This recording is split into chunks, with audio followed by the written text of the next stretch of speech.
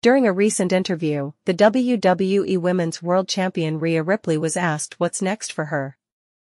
In response, Ripley explained why she doesn't like setting goals. I have no idea, Ripley said. I'm trying to take over the WWE. I don't like setting goals. Everybody always asks me, what's your goals? I hate setting goals because I feel like, when you set a goal you work so extremely hard to accomplish that and once you get there, you're like, cool, I did it, and then you don't know where to go. You're lost and like, I just worked so hard on this, and now it's over. Ripley recently main event WWE Elimination Chamber in Perth, Australia, where she successfully defended the women's world title against Nia Jax.